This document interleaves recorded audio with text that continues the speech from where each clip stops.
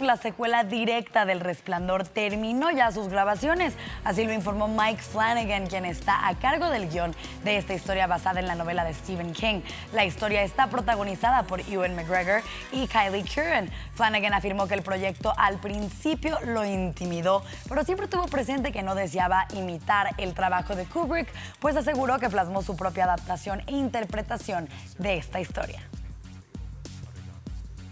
Imagen Noticias con Paco Sea, lunes a viernes 5.50 AM. Participa en Imagen Televisión.